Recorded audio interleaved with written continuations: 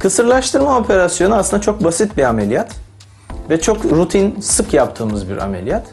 Erkek kedilerde e, operasyon süresi 5-10 dakika arasındadır.